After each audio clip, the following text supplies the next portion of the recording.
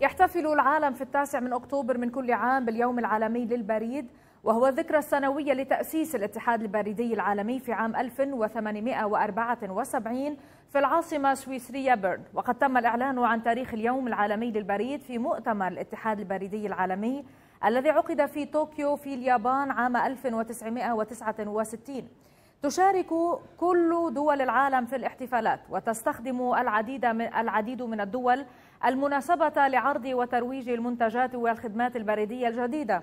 تقوم بعض الدول بتعزيز خدماتها البريدية أو تقديم منتجات جديدة في اليوم العالمي للبريد ومكافأة موظفيها عن إجادتهم في تقديم الخدمات. كما تنظم معظم بلدان المعارض لهواة جمع الطوابع وتصدر طوابع الجديدة. بالإضافة إلى الأنشطة الأخرى كعرض ملصقات اليوم العالمي للبريد في مكاتب البريد والأماكن العامة وإقامة المؤتمرات والندوات وورش العمل والأنشطة الثقافية والرياضية والترفيهية وغيرها. ألزمت بلدان عديدة نفسها في العمل معا لتحقيق 17 هدفا هي أهداف التنمية المستدامة.